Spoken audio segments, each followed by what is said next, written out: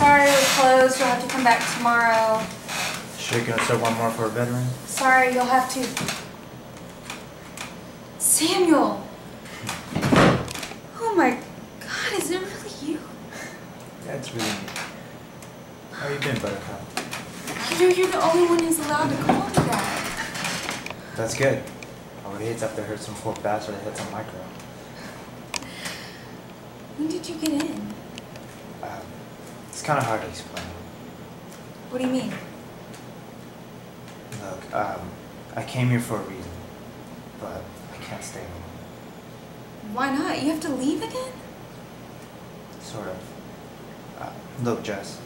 First off, I just want to say, I love you. With all my heart.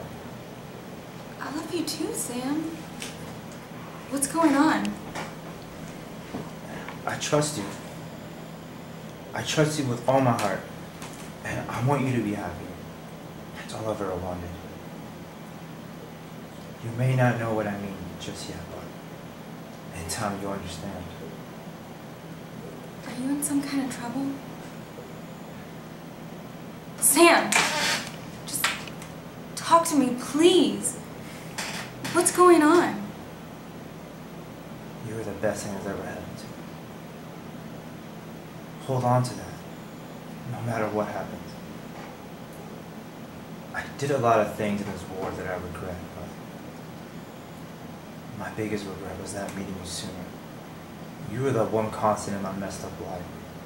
You were the reason to give me hope, and that's more than anyone could ever ask for. Sam! Don't leave me!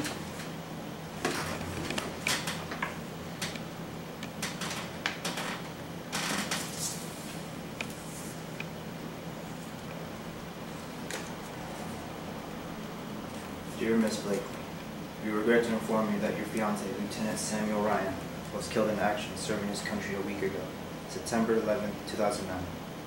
He will always be remembered as a true hero who served his country with honor and respect.